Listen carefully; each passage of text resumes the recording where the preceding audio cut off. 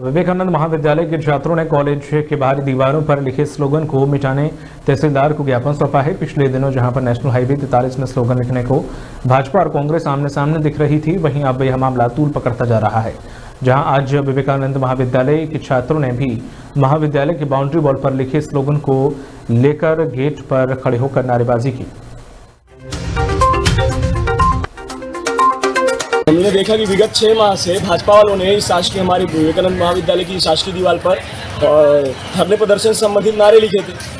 और इसके अलावा उनको भाई बहुत बार सूचित भी किया गया, और महाविद्यालय प्रबंधन को भी सूचित किया गया, लेकिन उनके द्वारा नारे नहीं हटाए गए, जिसके कारण से आज हम उस प्रदर्शन करने के लिए विवश हुए थे, और हमने प्रदर्शन किया और मांग की है। और महाविद्यालय प्रबंधन और पुलिस प्रशासन एवं जो हमारे प्रशासनिक अधिकारी, उन्होंने हमको आश्वासन दिया है कि कल से परसों तक में ये नारे दीवार से हट जाएँगे। बच्चों का ये आरोप था कि महाविद्यालय की जो बाउंड्री वाल है, उसमें बाहरी तत्वों के द्वारा कुछ नारे लेखन कर दिए गए हैं, जिसकी जानकारी महाविद्यालय प्रशासन को नहीं थी। और जैसे ही हमको जानकारी मिली है, हम तत्काल जो है, उसको आश्वासन दिए हैं कि हम तत्काल उनको मिटा दे रहे हैं। और इस बात की सूचना हमने एस डी एम महोदय, तहसीलदार साहब एस डी ओ पी सबको जो है, हमने दे दी है। और शीघ्रता से हम जो है, उसको मिटा देंगे।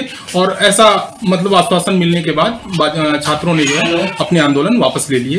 गेट के पास कुछ स्लोगन लिखे थे उनको हटाने की उनकी मांग की और उस पर कॉलेज के प्रिंसिपल आज बाहर नहीं है इसलिए प्रभारी के रूप में सब थे उनको बुलाया गया चर्चा की गई। और उन्हें ये कहा गया है कि इसको हटवा दें। उन्होंने बोला है अब हम हटवा लेंगे